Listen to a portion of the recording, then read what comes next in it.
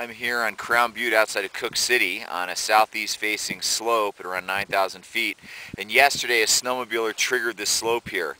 Um, he was riding up, um, he's cutting across it when it broke. Luckily he was not uh, buried and was uninjured, so we like hearing about that. Um, what happened was is in this area we have a lot of wind loading and Cooke City got about three feet of snow um, a few weeks ago, about two weeks ago, and it formed these hard slabs. And these hard slabs are sitting on a bunch of sugary snow. Now, this is the same stuff that we're seeing all over southwest Montana. We have it in Lionhead, we have it in Taylor Fork, and we also have it here. And so this is going to be around, it's going to be sticking around for a long time, and this is our major stability concern.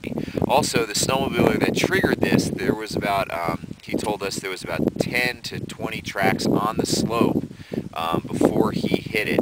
And uh, that's a good reminder that um, tracks on a slope does not mean that the slope is stable. So